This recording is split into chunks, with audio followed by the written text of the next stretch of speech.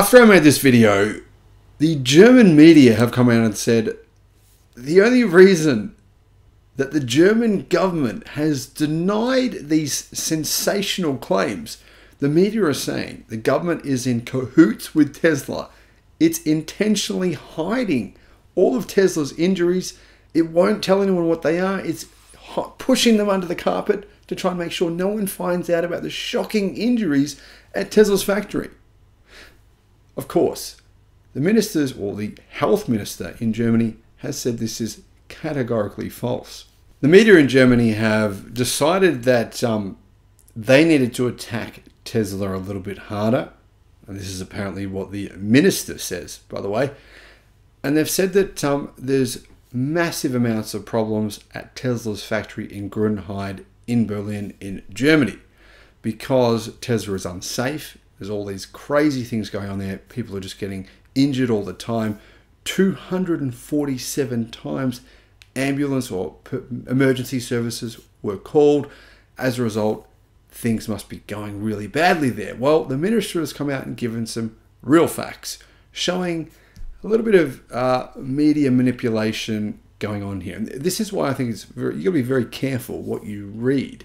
You got to be very careful whether or not the media that you're reading has a specific agenda. Well, right now, to be fair, uh, Germany is in a state of flux. It's very worried it's losing its automotive industry. I mean, Volkswagen Group are pausing EV production, they're firing workers, moving some production to China, and you can see why there's some panic about the German automotive industry. Why potentially some parts of the media might be going after Tesla, who are considered the disruptors. Hello, my friends. Welcome to the channel. Great to see you. Thank you for tuning in. I'm Sam Evans. You're watching The Electric Viking. Now, there has been actually numerous reports over the last years, couple of years, about the so-called um, terrible things going on at the Tesla's factory in Germany. I personally haven't really paid any attention to most of them because most of them seem like they're just sort of almost like hit pieces or things you'd read in something like TMZ, like these sort of TMZ style pieces. Not a lot of facts based to them. But anyway, apparently there was a really serious one done by one of the biggest German media organizations recently saying massive, massive problems at the factory. 40% of workers are getting sick, they claim. That's they don't when they're asked to back that fact that number up to 40%, they weren't able to provide any facts. That was just a Tesla employee told them that apparently. So they wouldn't say who the name of that person was, but that's what they said. It could be true, but I think unless you've got facts, it's unfair to make these statements. Anyway, Brandenburg's health minister, Ursula Nonnemacher shared a firm rejection of the claims suggested or made in an expose from German publication Stern. The publication alleged that Giga Berlin had a very high injury rate for its employees, three times higher than the equivalent injury rate at the Audi factory. And authorities were reportedly all too willing to hide issues with the plant. Apparently, authorities are just keeping it undercover, they're hiding under the rug. In her comments, the German minister denied the allegations of the publication's report. She argued that Tesla is treated like any other car maker in Germany. However, actually, she said this isn't true. She said Tesla is being treated at a harsher level than any other factory in the area, in the entire city. They said the, the checks they're doing on Tesla's factory are a higher and more frequent number than any other factory they have in the entire state. That's what she said. We treat Tesla like any other company. They don't get any discounts or preferential treatment. I can assure you there is no company or large construction site in all of Brandenburg that has been checked more intensively and frequently than the Tesla construction site. The German publication stated that in the year following Giga Berlin's launch, emergency service operations were requested 247 times. Now, there are 11,500 staff there.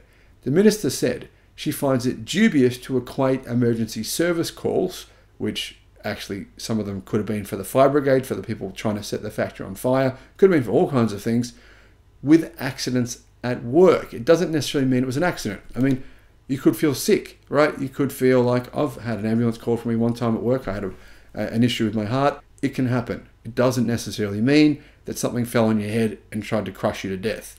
Anyway, Tesla has 11,500 workers. well, that's the size of an entire town.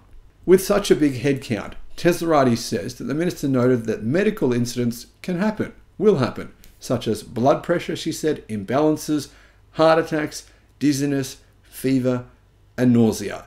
And also, people have said this 40% claim of employees getting sick because they're breathing in noxious fumes from the factory is made up. It's just someone's made this up because it sounded sensational. Now, I don't know, it could be true, but it sounds like it's probably not. That being said, the Ministry of Health said there has been seven serious incidents in the last three years since the factory began starting its build. But of those seven, it wasn't really Tesla that made them happen, at least most of them anyway. Marian Mishk, head of the Occupational Safety Department of the State Office for Occupational Safety, Consumer Protection and Health, said, for the most part, the incidents in Giga Berlin appear to have been minor. For the most part, these are minor accidents caused by stumbling, falling, or hitting something. No indications of inadequate occupational safety or organization were identified. She said this during the construction phase of the factory, when Tesla had basically hired contractors to build it, they didn't actually do this themselves. Of course, they hired outside companies. The plant was inspected weekly, but during that period of time, I believe four of those seven accidents occurred. So, from what I can tell, there's only been three serious accidents from 11,500 staff over the space of three years. Doesn't sound that bad to me. In 2021, there were 48 inspections at Tesla, with many of those being ones that were just unannounced. They turn up and try to check that you're not doing anything wrong, so they don't give you any notice that they're coming. There was 40 last year, 19 so far this year, and they said that inspections take place every two weeks. In addition, there are ad hoc surprise inspections every six to eight weeks without prior notice. So Seems to me that um, this publication in Germany might just have a little bit of a hidden agenda. I'm going to guess Tesla doesn't pay for any advertising on their publication. Maybe Mercedes, uh, BMW, Volkswagen Group, Audi, Porsche, maybe some of them have, have paid a little bit to advertise in their publication over the past few years. But maybe I'm wrong. Let me know what you think in the comments. Thanks for watching.